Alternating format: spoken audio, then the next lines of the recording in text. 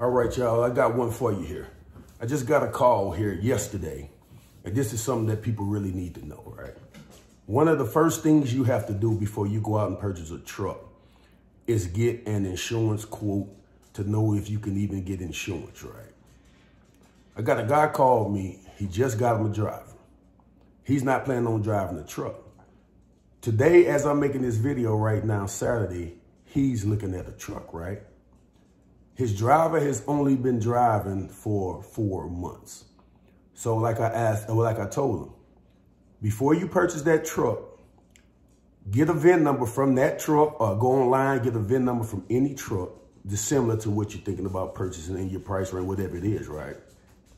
Call an insurance company, give him, give them that VIN number, give them the driver's CDL information, name as it appears on their driver's license.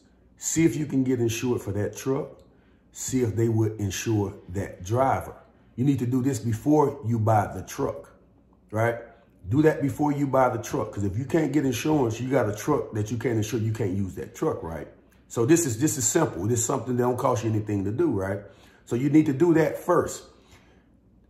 Uh, another thing is my insurance company, this, this is just an example. My insurance company would not cover anyone that's not 25 years old and that hadn't had the CDL for at least two years. That's it's not the same with every company. Some companies will insure you if you don't haven't had your CDL for two years, but they may charge an amount that's not beneficial to you, right? You may just be in business to pay that insurance company. You need to know exactly what it's going to cost you to insure your driver and insure your truck. You need to know this before you buy the truck. The same guy has a friend that that's already purchased the truck. She doesn't even know this. He said he's going to call her after he got off the phone with me because she already got her truck. She don't have a driver, right?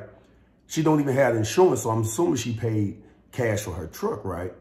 But she don't even know if she can insure that truck or insure a driver because she's not going to drive. She's looking for a driver. So these are just some things that you guys need to know before you go out here and get stuck with these trucks. And we'll give your boy a couple likes and, and subscribe to me. I got something for y'all out here. You know, I'm going to lace y'all up out here on this trucking thing. But anyway, you need to know this before you purchase these trucks because you, you, can, you can get out here and get stuck. I know a guy that got out here, he's driving now, one truck, he doesn't even have a trailer. He just got the, the uh, a sleeper. This guy insurance is so high. What I pay for five trucks and three trailers, this guy paid almost that for one truck. So the, it's not even worth him being in business. He didn't know that until he got in here. Peace.